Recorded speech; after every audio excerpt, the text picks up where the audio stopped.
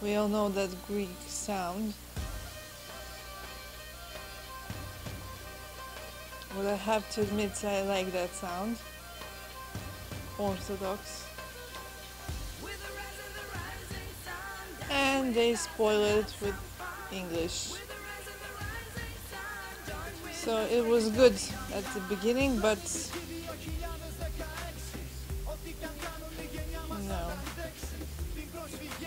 Rap now? What's next? No, I don't like it. No, definitely. It reminds me of um, actually bad 90s rap. Um, you know, when people first heard American hip hop songs and they wanted to copy them. It's the first time I hear rap in Greek. Yeah.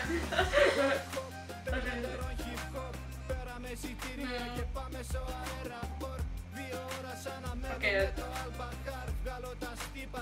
Next. I just I don't really like the song. Sounds like Sinistra for me. From very far, if I do like this, it's like Wolverine.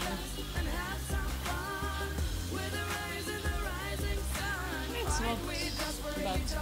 Not bad, just the accent is a bit too strong for me. If that was English, but I'm not sure.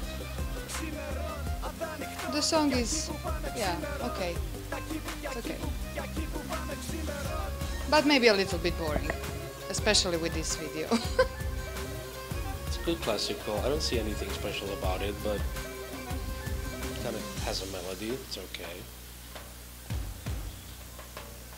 But it's not my style, no. It's definitely not my style. With the rise and the sun.